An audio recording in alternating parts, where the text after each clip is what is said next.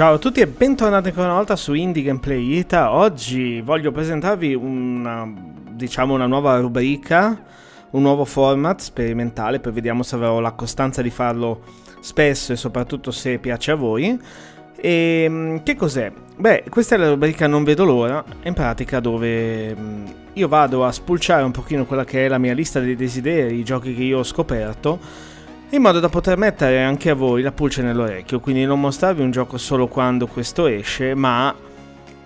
anche prima, in modo che si possa creare questa rete di interazione tra me e voi.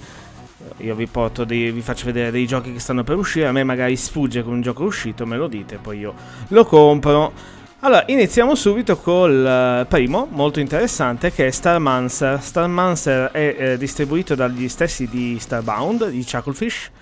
e sembra essere un gioco davvero molto molto interessante perché si va a costruire una, una sorta di stazione spaziale, vedete, con una grafica che ricorda molto mh, quella di mh, Gnomoria, ma molto più bella. Si può andare veramente a customizzare qualsiasi cosa della stazione.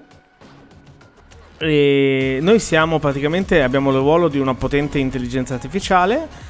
e qua andremo poi a gestire tutto. Non si sa ancora quando esce perché è in coming soon, però insomma il gioco uh, non sarà in italiano, però va bene, eh, vedete qua molto carino, ci saranno nemici, pirati, insomma tante cose. Nulla di innovativo, però senz'altro un qualcosa che mi ispira molto anche dal punto di vista grafico. E ora passiamo alla creme della creme di, questa, mm, di questi tre giochi che oggi vi porterò, che è Little Devil Inside. Little Devil Inside, io ringrazio il buon Argonaut che me l'ha fatto conoscere perché non è su Steam, non si sa quando esce, pare fosse un gioco caduto nel dimenticatoio, poi ripreso in mano, si esplora, si scopre, ci si adatta, si combatte e eh, si sopravvive. Meccaniche survival veramente di, di, ogni tipo, ma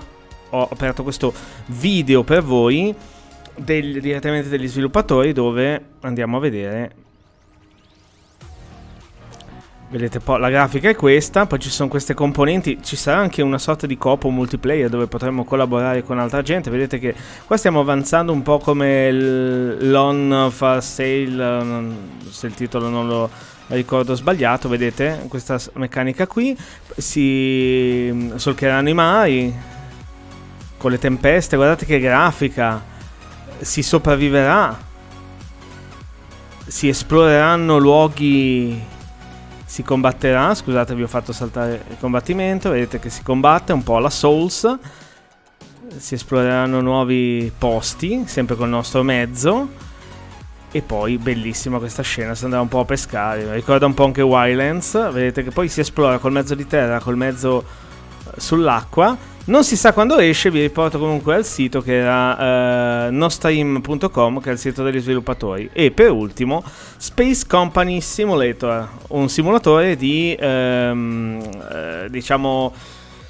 NASA, insomma, una compagnia spaziale in cui potremo andare a eh, costruire la nostra compagnia, addestrare i nostri astronauti, avviare le nostre missioni nello spazio, un po' come si è già fatto in altri, in altri giochi, però vedete che è assolutamente eh, molto interessante, non si sa ancora il prezzo, però mh, mm, la cosa positiva è che c'è una data d'uscita prevista tra tre settimane dal momento in cui sto registrando, poi ovviamente eh, il 24 ottobre è la data finale.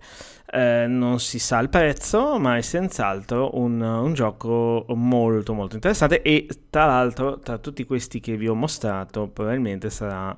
l'unico in italiano. Io spero tanto Little Devil Inside sia in, in, italiano, ma non saprei dire. Tra l'altro questi sono sviluppatori che hanno fatto anche eh, Space Cow e, e, altri titoli, insomma potete andare poi a, a, cercarli. Niente, fatemi sapere cosa ne pensate di questa nuova rubrica, di questo Non vedo l'ora e alla prossima, ciao ciao!